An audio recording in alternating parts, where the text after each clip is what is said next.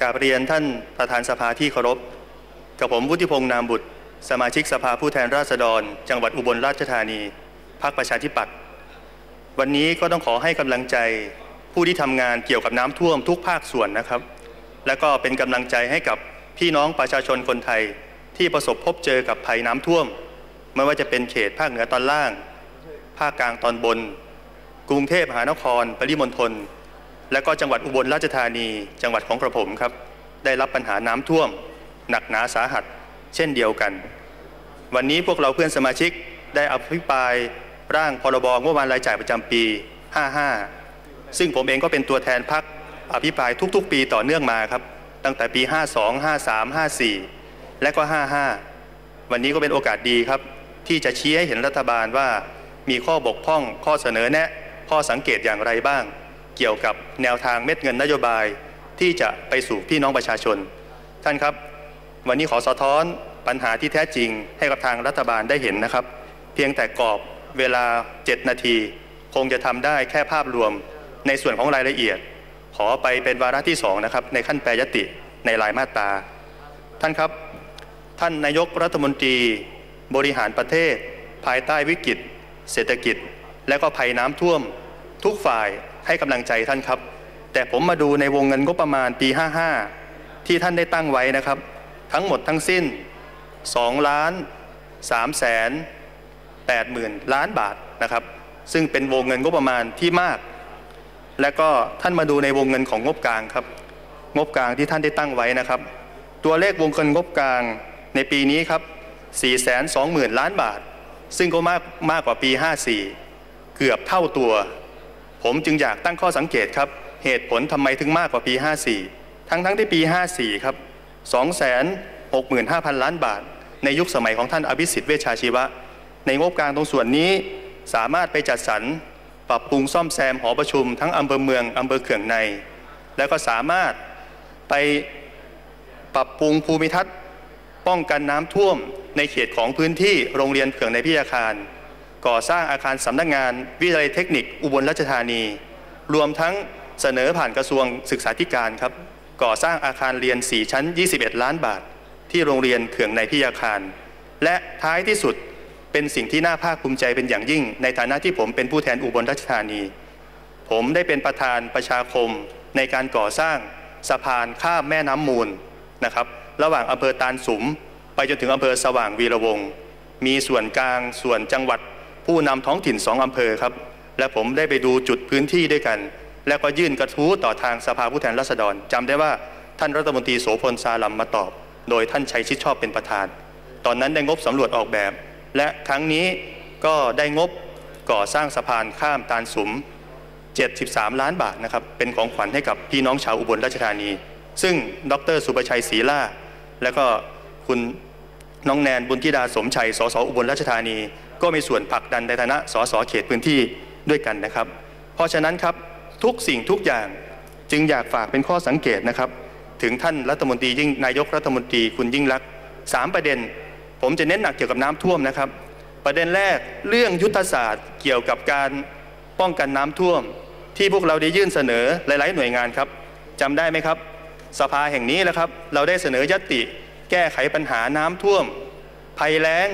ยติแม่น้ำโขงแห้งขอด ต่อเนื่องกันมายาวนาน ซึ่งตอนนี้ยติน้ำท่วมก็ยังอยู่ในกรรมธิการวิสามันของสภาผู้แทนแห่งนี้นะครับ 25 ลุ่มน้ำเขียนไว้หมดครับ ลุ่มน้ำภาคเหนือมีอะไรบ้าง ลุ่มน้ำภาคอีสานมีอะไรบ้าง ในส่วนของภาคอีสานครับมี3ลุ่มน้ำหลักโขงชีมูลสามลุ่มน้ำใหญ่ๆสามลุ่มน้ำนี้ครับทั้งสามลุ่มน้ำก็จะไหลรวมที่อุบลราชธานีครับเป็นจังหวัดเดียวที่รองรับทั้งสามลุ่มน้ำ ทำให้มีสภาพน้ำท่วมขังต่อเนื่องเป็นอย่างมาก เพราะฉะนั้นครับปัญหาน้ำท่วมขังต่างๆ รัฐบาลก็ได้เสนออย่างนี้ครับ หลายๆ ฝ่ายเสนอหมดครับ แผนยุทธศาสตร์พัฒนา ปรับปรุงประสิทธิภาพ ส่งเสริมคลองส่งน้ำปรับปรุงแหล่งน้ำและก็ติดตั้งเตือนภัยลุ่มแม่น้ำชีแม่น้ำมูล หลายๆ โครงการหลายๆฝ่ายครับนี่เอกสารจากทางรัฐบาล แต่ท่านครับทุกสิ่งทุกอย่างตอนนี้ท่านจัดสรรเพิ่มให้หรือยังครับ ขื่อนป้องกันตลิ่ง ริมแม่น้ำชีในเขตเขื่องใน ริมลำเซบาย ตรงบ้านบางอ้อตำบลหัวดอนอำเภอเขื่องใน ริมแม่น้ำมูลครับ ซึ่งพระคุณเจ้าเจ้าอาวาสครับ ท่านประหลัดประดิษฐ์วัดธรรมโมนะครับ เจ้าอาวาสวัดท่ากกแห่ครับ สภาพชันรุดสุดโทรมเสียหายครับ ตลิ่งชำรุดสุดโทรมทุก ๆ ปี ปีที่แล้วได้งบจากท่านรัฐบาลอภิสิทธิ์แต่ปีนี้โดนตัดงบประมาณต่อเนื่องมาครับ ฝาก นำเข้าบรรจุด้วยนะครับ ถ้าทันปีนี้ก็จะเป็นประโยชน์กับวัดท่ากกแห่ชุมชนคูเดือ ชุมชนท่าบ่อตำบลเจรแม และก็พี่น้องลุ่มแม่น้ำมูลอำเภอเมืองเป็นอย่างยิ่ง รวมทั้งตลิ่งอำเภอตาลสุมครับบริเวณสวนตาลสวนสาธารณะของอำเภอตาลสุม ตรงนี้ครับต้องฝากบรรจุอยู่ในเล่มของงบประมาณด้วย แล้วก็ประเด็นที่สองครับในเรื่องของการเยียวยาหลังจากพี่น้องประสบพบกับภัยน้ำท่วม ท่านครับเราพูดมาตลอดครับการเยียวยา ไม่ว่าเยียวยาพี่น้องเกษตรกร เยียวยาบ้านเรือน เยียวยาผู้ที่เลี้ยงสัตว์ หรือหลาย ๆ หน่วยงานครับ หนังสือเล่มนี้ครับท่านครับ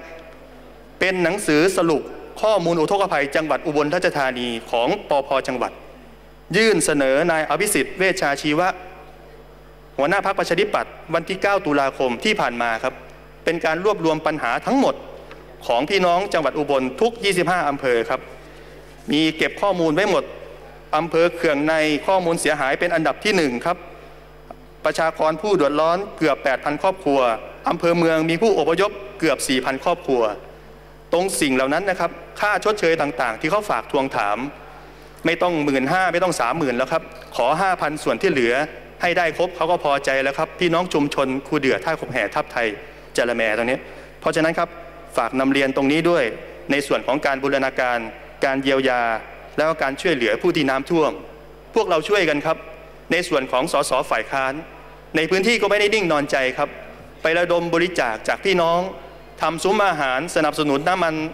เรือหางยาว และก็ล่าสุด